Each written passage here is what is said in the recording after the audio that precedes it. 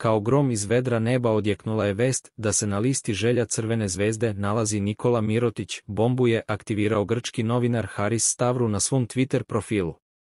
Ipak, ova vest u zvezdaškoj javnosti kruži već duže vreme, da ne kažemo od trenutka kada je postalo jasno da će klub teško da zadrži Fakunda Kampaca.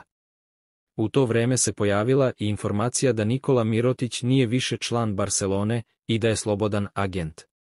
Po nezvaničnim informacijama, krilni centar poreklom iz Crne Gore, ali sa papirima Španije, našao se na radaru Crvene zvezde i prvi kontakt je napravljen. Po njemu Nikoli Mirotiću je ponuđen ugovor na dve godine. Na godišnjem nivou bi zaradio između 2,5 i 3 miliona evra. S tim da bi se leta 2024. godine preselio u Dubaj ako bi oživeo projekat tog tima u Euroligi, navodno, Arapi su već kontaktirali bivšeg NBA igrača.